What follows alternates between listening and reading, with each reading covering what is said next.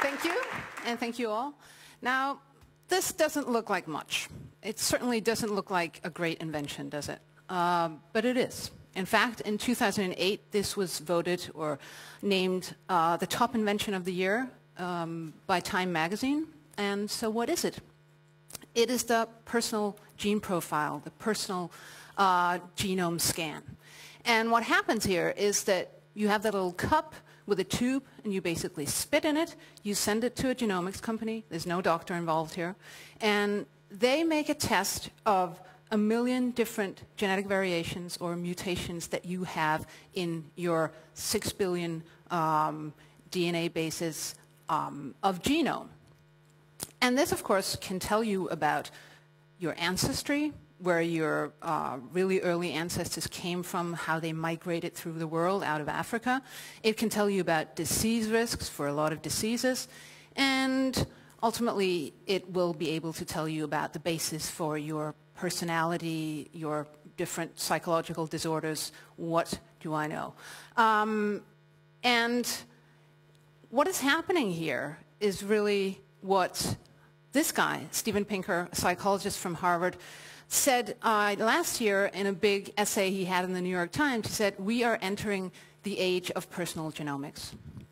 Now, that also doesn't exactly sound like much. It sounds almost innocuous.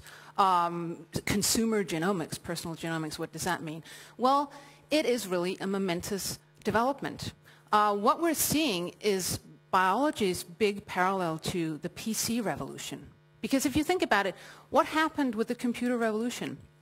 Computers used to be big, hugely expensive machines that were only found in research institutions, a few uh, universities here and there, a few big companies, and only experts got to relate to these computers and use them. Um, I think there was even a director of IBM who said there wasn't really a market for personal computers. Well, what happened, as we all know, was that the price of the technology dropped so dramatically that we got the PC. Um, this is an early model. Um, and of course, with the PC, suddenly uh, there was a revolution going on. We all got access to handling information uh, on computers. We have seen a tremendous development both in our social interactions, the way we run our societies, uh, freedom of information, everything. Yeah, back to WikiLeaks this week, for example. Um, so this was a big revolution that changed our lives, basically.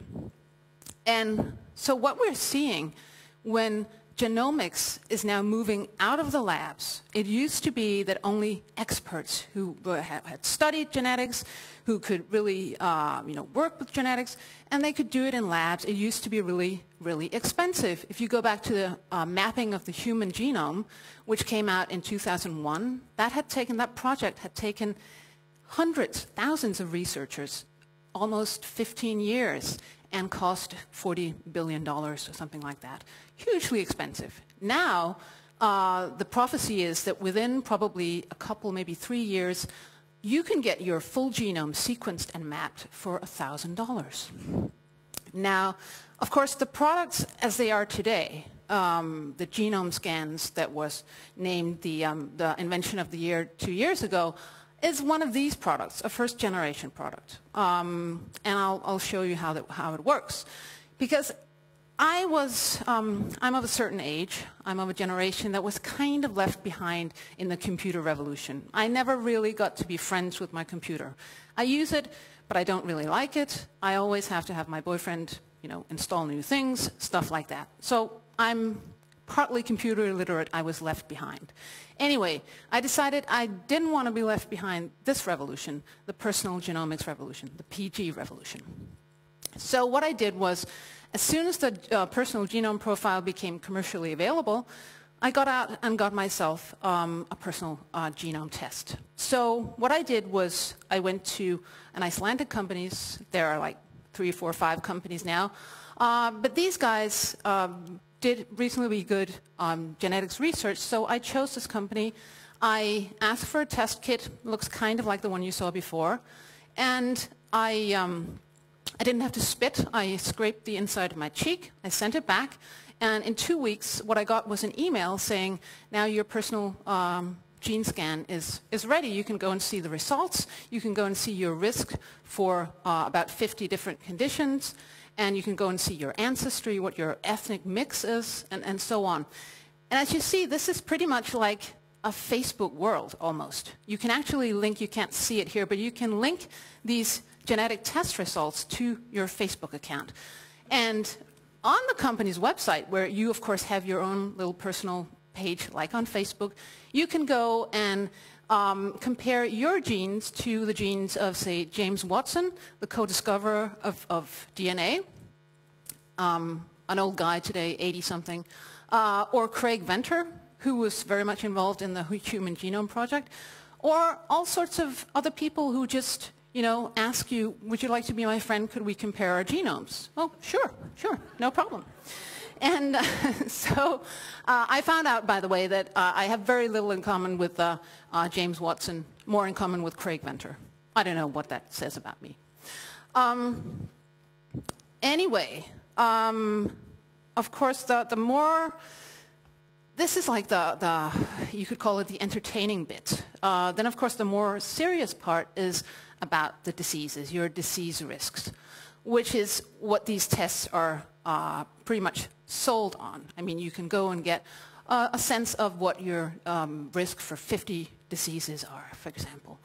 Um, and I have to say, when I got this, uh, and I sat there in a cold hotel room in Reykjavik, where I had gone to talk about this with the founders of, of the company, I was a little bit nervous it was very strange suddenly to have this, almost it feels like I'm going to now have this prophecy about how my life is going to turn out, what, what I'm going to die from, what diseases I'm going to get.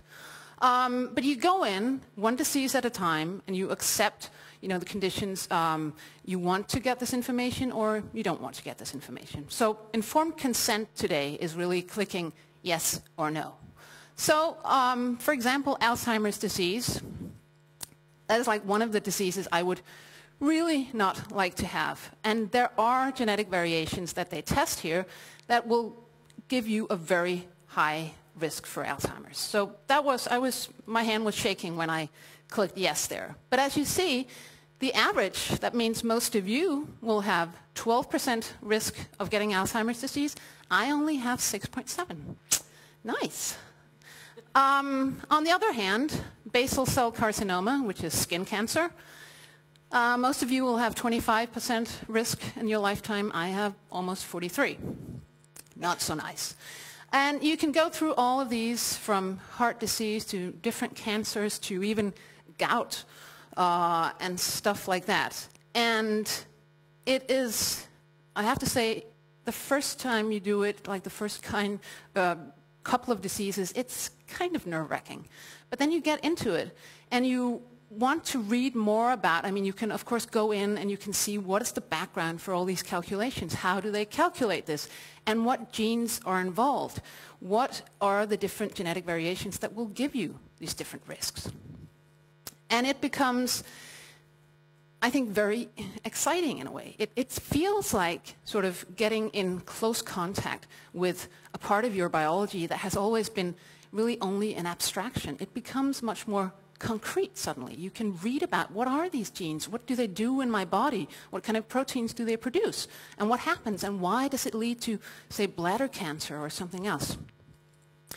And of course, there is a lot of debate surrounding these tests. And a country like Germany, for example, has already forbidden people like you and me to take these tests without a doctor being involved and a doctor prescribing it. And this is what you will hear from a lot of doctors and certainly a lot of bioethicists. They will say that basically ordinary people like you and me uh, are not equipped to understand this. So we should have a genetic counselor present or we should have a doctor present to explain all this to us. I have to say, well, I have a background as a biologist, but I have discussed this with many people who haven't anything but, you know, high school education. And I think it is pretty much as one of the scientists I've spoken to said, well, if people can understand baseball statistics, they can certainly understand basic genetics. It isn't that hard. Um, because what we're talking about here is a very simple genetic code, a very simple digital information.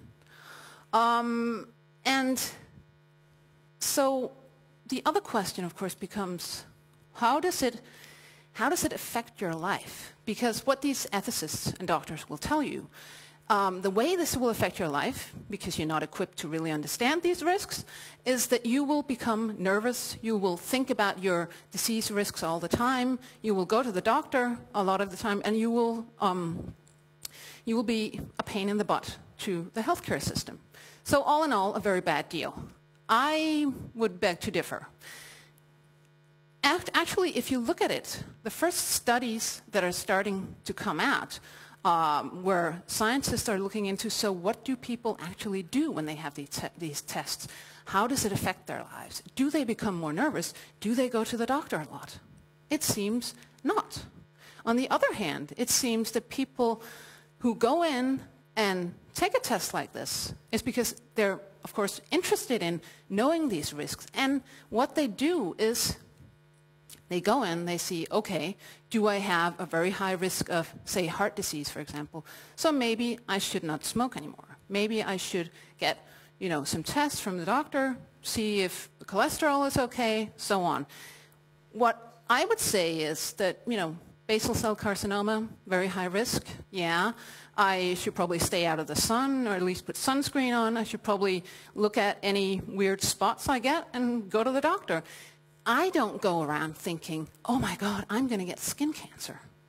Um, in fact, what I really felt after seeing all these different risks, and a lot of them are, you know, higher than average, some are lower, um, is that I just became very, very interested in getting more information. It's like getting, you know, you're sinking your teeth into something and you become really interested in your own biology. And what is great about this test where you have the raw data from a million different genetic mutations, they can tell you much more than the company tells you. Because a couple of guys um, in the open source uh, Wikipedia environment ha have made this great program called Promethease, where you can take your raw data, send it to their server, and what the server does is take all the genetic research that is out there and gather it together and see what does it say about your genetic variations.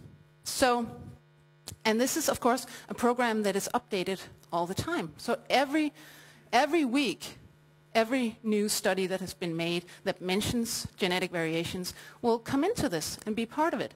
So you can update your report and basically become part of ongoing research which feels like really, really exciting when you think about it. I mean, it becomes, you connect directly to what people are doing in the labs. Instead of just, you know, reading in a newspaper that somebody found something out by looking at a group of Harvard students. Fine, but you can go in immediately when you read a study like that and test, so where does that place me? What does that say about my genetic inheritance? And when I first did this report, I sent it to one of the guys who created the program. And he looked over it, and immediately he sent me an email back saying, wow, you are the first one I have seen um, with, you know, an RS 81773, whatever, in a double doses. That's great. And I went in and I said, yeah, that really is great, because that's a mutation that I have in a, a double dose of it, and what it does is, in fact, it seems to protect against blood poisoning, bacteremia, uh, against malaria and tuberculosis. That's a nice one. Um, and I went through it with one of my friends sitting next to me, actually.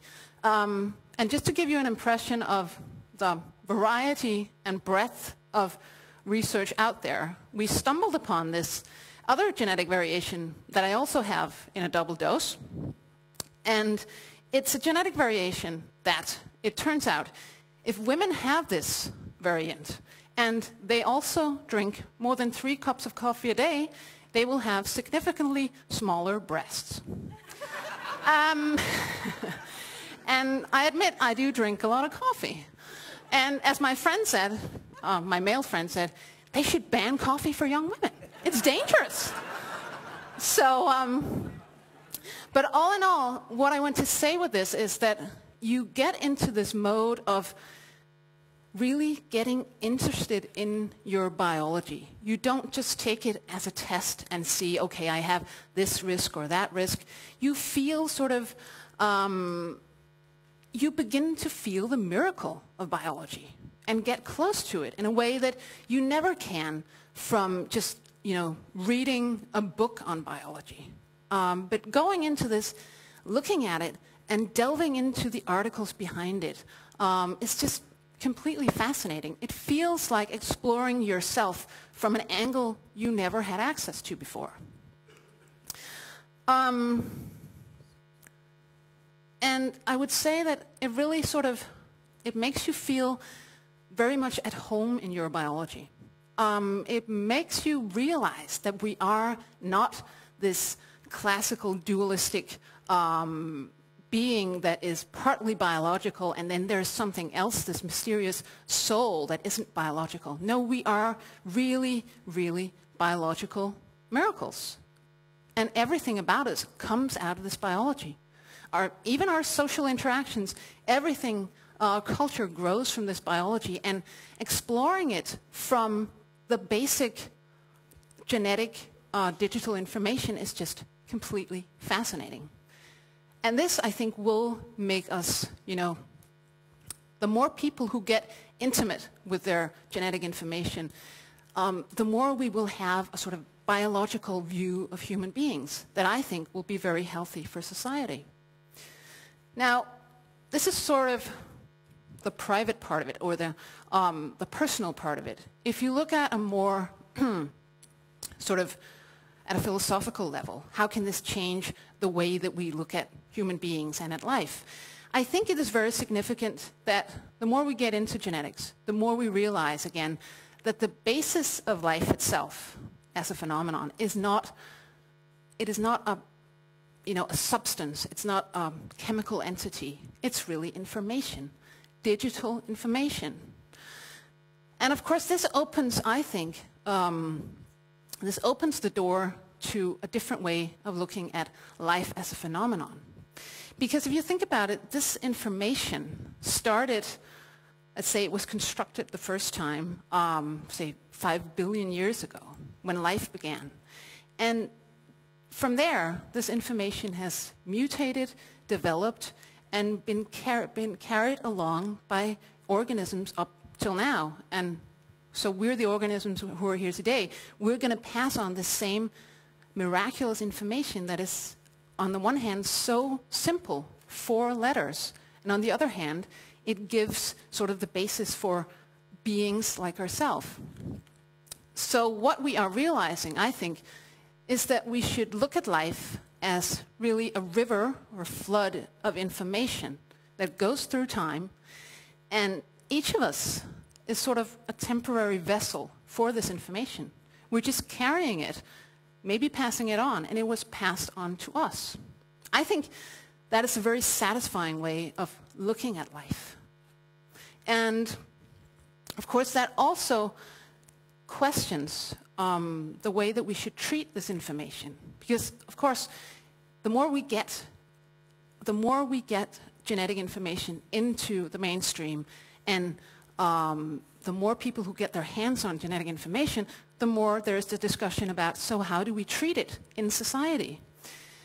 And I have to say, um, I think that when you look at the old, the old way of looking at it, the more traditional way is to say that um, genetic information is so very, very personal, um, that it should be highly guarded, it should be kept, you know, um, within boundaries. It, there should be genetic privacy, basically. And this is talked about a lot. Genetic privacy is enormously important, people will tell you. And I think this is uh, a way of looking at it from before the PG revolution, from when you know, genetic information was sort of very abstract to people, and we knew very little about it. Nobody had their hands on it. But if we are indeed these temporary vessels for this information, I think it's uh, fair to say that it doesn't really belong to us as individuals. What belongs to me is, of course, my body, my individual organism, but the information that sort of, you know, is harbored in this uh, body, in this organism, was given to me by somebody. I can pass it on or I cannot pass it on. And this is the same for everyone. So the information, I think, is not mine or yours. It's the property, the common property of humankind. And that's the way we should use it. Uh, we should not guard genetic privacy because this information is not who we are. It's not our essence. It's a basis for who we are, but I'll come back to that. And actually, I think what is interesting is that there is already a movement that is about um, genomic openness and open source genetics. And this guy, um, James Watson, co-discoverer of um, structure of DNA, has already has had his whole genome sequenced, mapped, and he chose to place it on the web. It's on the web. You can go and look at what is the uh, sort of digital basis of James Watson. And I think this is the way to go about it. As much as we can, we should have you know, our genomes on the web. Another very interesting project um, is from this group, or rather, these 10 people are uh, the 10 pioneers of what is called the Personal Genome Project. It is uh, the brainchild of the gentleman in the middle, PGP-1, George Church, who's a Harvard geneticist, and who had this vision of let's get together 100,000 volunteers who will volunteer, you know, to have their genomes completely mapped, completely sequenced, put on the web, and not only that, but put on the web with their pictures, their names, their medical records, and even, I think, tests of their IQ uh, and personality and brain images and so on. Now, what is the purpose of this? The purpose of this is to get a huge information database that anyone can access and do research on. Not just professional geneticists, but anyone with a computer who can go into this database, try to figure out new um, you know, connections between genetic variants and actual human traits because you have all the information there. What does this person eat? What kind of um, diseases does he have? Uh, and what kind of genetic variants? So this would create an enormous database for basically everyone. And as Church has said himself, we don't know who the innovators of tomorrow are. I mean, if you look at the PC revolution again, people you didn't know anything about, you know, boys would sit in a garage somewhere and come out with companies that would grow to be huge. And the same thing here. It could be a 16-year-old girl sitting somewhere finding a great idea for a research project or for a new product and coming out with that because of this open genomics.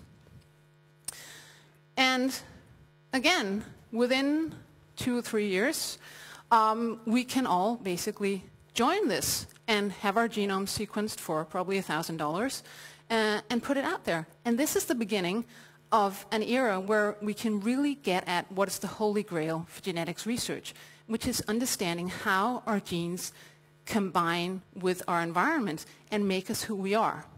And this is also, I think, the death of genetic determinism, because we used to say, or a lot of people still think, that if something is genetic, it's predestined. You have a gene for this, so you will get this or be like that. But it turns out, the more research we do, that our genome is not a straitjacket. What it actually is, is a nice soft sweater that you can shape and form. Our genome is a very dynamic structure. And so, of course, this development is very new, and it raises a ton of questions, a ton more questions that I could answer or even pose in 18 minutes, but I want to leave you with the most important one, which is, how will you take part in the PG revolution? Thank you.